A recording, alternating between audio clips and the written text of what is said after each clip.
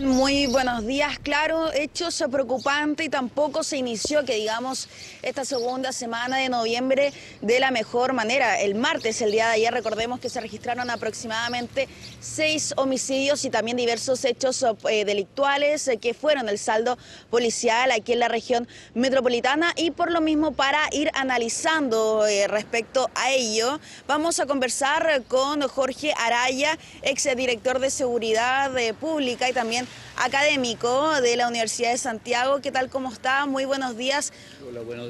¿Cuál es la radiografía, el análisis que se hace en torno a esto que lo decíamos Gustavo, un hecho, hecho preocupante, verdad? Yo creo que lo, el cuadro que tenemos es de una delincuencia en el país que ha cambiado radicalmente. Lo que teníamos tradicionalmente es que era Chile un país tranquilo, con una delincuencia tradicional caracterizada por, por los delitos contra la propiedad, los robos, digamos, los hurtos. Era un país donde había un nivel de robo importante, pero homicidios eran muy pocos. Eh, de hecho, en la delincuencia tradicional en Chile estaba caracterizado que la criminología en Chile, los homicidios específicamente, tenían que ver con delitos pasionales, riñas o eh, delitos pasionales en pareja. Y en estos últimos 20 años el país cambió radicalmente. O sea, yo creo que se conformó, se consolidó un fenómeno de bandas criminales ligadas al narcotráfico, chilenas, y unido a una eh, inmigración un poco desbocada, que no, como país no tuvimos la capacidad de controlar, de monitorear, y ahí entró lamentablemente mucha gente con antecedentes penales, y se abrieron las fronteras y se volvió una frontera muy permeable a toda esta criminalidad. ¿Es el narcotráfico el principal quizás responsable del ingreso, de la situación de las armas y de que han ocurrido en estos últimos tiempos? Sí, yo diría que casi toda la criminalidad importante que maneja mucho recurso efectivamente está ligada al, narcotráfico. Al narcotráfico o a grupos o bandas que prestan apoyo a los narcotraficantes.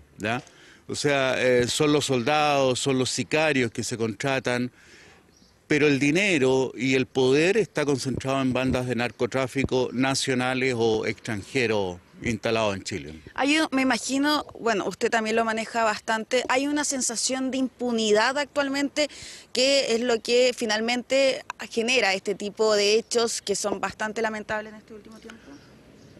Es así, es así porque lamentablemente no tenemos la capacidad policial, urge lo que venimos diciendo muchos especialistas del tema, una reforma a las policías, especialmente a carabineros, eh, Carabineros necesita fortalecerse, hay un déficit de más de 8.000 efectivos, eh, pero además necesita profesionalizarse, necesita una capacidad investigativa distinta. El Ministerio Público está enviando archivo provisional más del 60% de los delitos, porque no tiene antecedentes, no tiene pruebas, no tiene eh, testigos y por lo tanto queda en la absoluta impunidad porque va a archivo provisional, que significa no investigar, no hacer nada.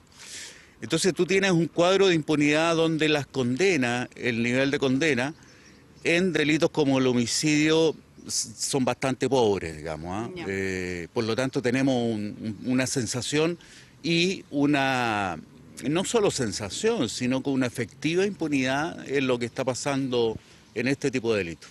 Se esperan las autoridades y el mundo político también llegar a un acuerdo en materia de seguridad. ¿Qué es lo que debería tener? ¿Cómo se debe fortalecer para hacer frente a este tipo de situaciones? A mí me parece muy buena noticia que el gobierno haya anunciado eh, la creación de esta política o renovación de esta política nacional en seguridad ciudadana. Creo que eso nos da la oportunidad de que todos los sectores se pongan de acuerdo y no sea una política de un gobierno en que la oposición está eh, oponiéndose o criticando, sino que todos se sienten parte y construyen una política de Estado en esta materia. Ahora, ¿qué debería tener? En primer lugar, diría yo, recursos. Cualquier anuncio, si no cuenta con recursos suficientes, queda en palabras. Y eh, yo lo he dicho, en Chile estamos gastando como un 1.8 del PIB en materia de seguridad y justicia, y hay países latinoamericanos que están en un 3 puntos del PIB, 4 puntos del PIB. Por lo tanto, si tú no tienes muchos más recursos para los municipios, para, los, para las policías, para un plan de fortalecimiento del Ministerio Público, tú no vas a avanzar significativamente en el tema. Jorge, por último preguntarte, em, el gobierno ha dicho que, por ejemplo, lo que ocurrió en la Florida, lo que ocurrió en, distintas materias, em, se van a querellar. ¿Qué peso para los delincuentes es el anuncio de una querella? Lo hablábamos fuera de cámara y no es mucho, ¿verdad?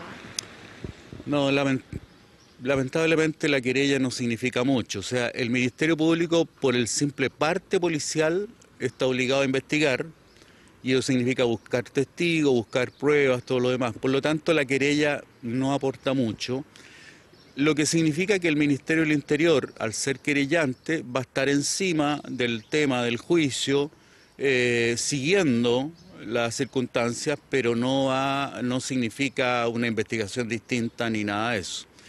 Entonces, está bien que lo haga, eh, tiene que hacerlo como autoridad, pero lo importante, como te digo, es fortalecer los sistemas, las instituciones del sistema de justicia criminal para poder avanzar de una vez por todas en este tema que tanto preocupa a la población.